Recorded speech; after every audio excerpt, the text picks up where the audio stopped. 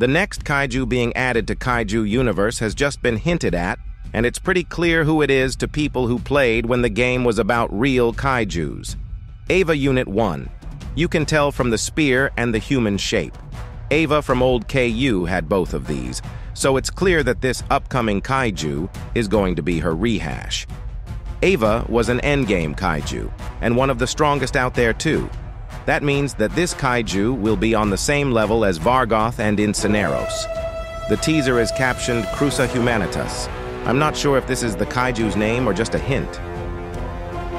This will be one of the biggest kaiju updates in the new version of Kaiju Universe, so be excited. Thank you for watching, and see you on Monday when it comes out.